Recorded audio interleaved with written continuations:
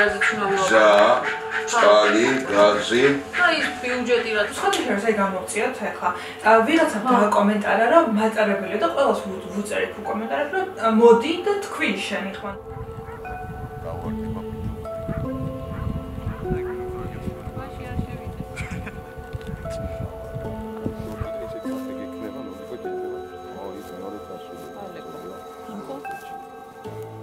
სოფელ ახალკუმიში ჩემი კავშირი ძალიან ისეთია, ბევრ წელს მოიცავს.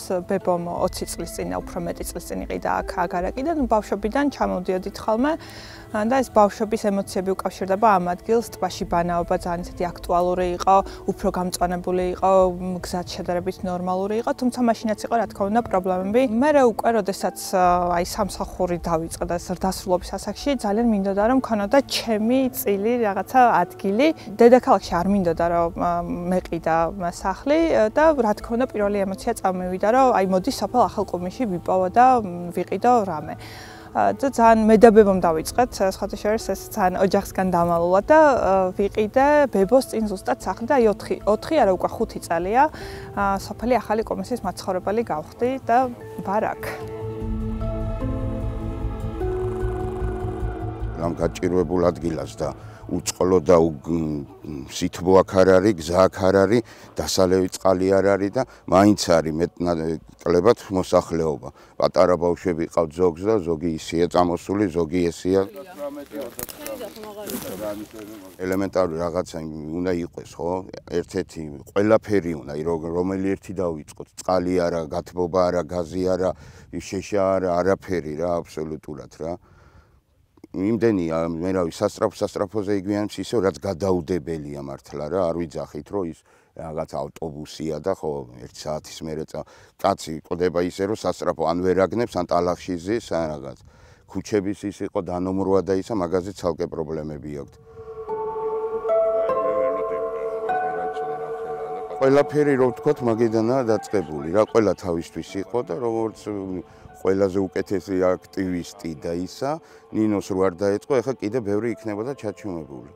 ხალხი უკვე ისე იყო რომ ერთმანეთის დანახვა აღარ უნდათ რა იმიტომ რომ ისეთი გაჭირვება და ისა ეხა ერთ მანქანაყავს წყალი მოაქვს აუ მეორე ყოველთვის ვერ მოიტანი სახლიდან მოდიხარ რაღაცა მოგაყო საკვებია ისა და ყველა მეზობელში ვერ მიუტან და ვერ იმას იზო და უკვე ხალხს ერთმანეთის შურდათ რა რომ იმას წყალი აქვს და იმას როგორ უყურებ მოხუცია პენსიონერია და წყალი არ გინდა არ გინდა უნდა ისაქნა და ამ აქტივისტობის მე ერთმანეთი გაიცნეს უფრო მეტი და ერთად გომა და რაღაც იმედი გვაქვს რა რომ რაღაცა გამოსწორდება და იქნება რა აქ მცხოვრები აბსოლუტურად ყველა ადამიანი მიყვარს და აი ამათან ურთიერთობა არის ჩემთვის ძალიან დიდი რაღაცა პრივილეგია ესე რომ ვთქვა. პირველი მახსენდება დასუფთავება.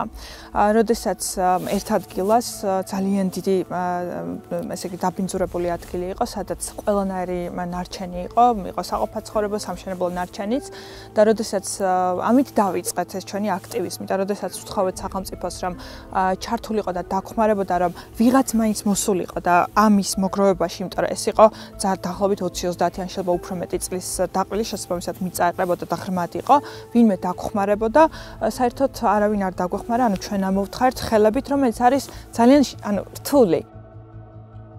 ამ 4 წლიანი, აი 4 წელი განსაკუთრებით ვარ ჩართული და მაგრამ მხოლოდ მე ძალიან ისეთი დიდი და კარგ და საიმედო გუნდთან ერთად შედეგი გვაქვს ის რომ მეორეული ნაგვისყუთები მოგვიტანეს ისიც ძალიან დიდი ხვეწნის ფონზე და ამისთვისაც რა თქმა უნდა მადლიერები ვართ იმიტომ რომ ნაგავი ყო აღარ იყრება სოფელში. გარეგანათება არის სოფლის დასაწყისში შუა არის ჩაბნელებული და ბოლო რომელიც არ არის ანთებული და ველოდებით უვადოთ როდის აინთება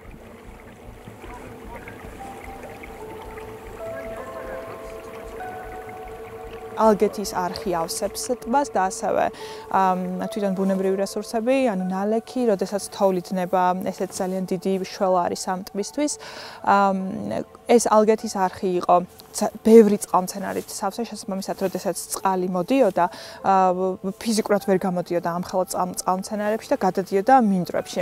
ჩვენი ერთ-ერთი ესე მებრძოლის ძალიან დიდი ჩართულობით, აქტიური ჩართულობით გაიწმინდა ეს არხი და მივდიოდით იმ ადამიანთან და ვთხოვდით, რომ რაღაცა ბოლომდე გაიწმინდა ეს არხი და რაღაცა იმ ჩარჩაში არ მოხვედრილიყო და ცოტა უფრო შორსაც წასულიყო. ახლა როდესაც ვამოწმებთ, მცირე რაოდენობით მოდის. ეს მცირე რაოდენობა შეიძლება ერთი კუთხით დიდად ვერაფერს ვერ შველოდეს ტბას, რომ აი უცებ აივსო და ასე შემდეგ. თუმცა აა ესეც არის რაღაც საქმე და მთლად რაღაცა დაშრობის პირიდან ცოტა ვავსებ და ამოყავს უკან და იმედია რომ დაუბრუნდება თავის ადგილს. მე ისე მიყვარს ჩემი სახლი, ჩემი ეზო და ჩემს ირგვლივ აი ეს ტერიტორია, რომ აა ვფიქრობ, რომ აი ეს ეს ქვეყანა რომ ჩემია, მე ვგრძნობ აქ, აი ახლა და აქ რო ვდგავარ ტბის პირას და ჩემი სოფლის რაღაცა მიჯნაზე. აა ბევრ ადგილას შემიძლია რომ ვიცხოვრო, მაქვს ამის რაღაცა შესაძლებლობა დედაქალაქში რაღაცა შემიძლია დავრჩე, არ ვიწოლ და ასე შემდეგ, მაგრამ აი ძალიან გრძნობ რომ ამ ადგილს ადამიანებს არ უყურესხმობ, აი დასახლებას ძალიან ვეიმედები და გრძნობ რომ ძალიან ვჭირდები და მეც მჭირდება, ძალიან ორმხრივი არის ჩვენი ურთიერთობა. და ზუსტად ეს არის ის შეგრძნება, რომ ეს ქვეყანა რო ჩემია, აი ამ ურთიერთობაში ჩანს. მე მისთვის ის ის ჩემთვის.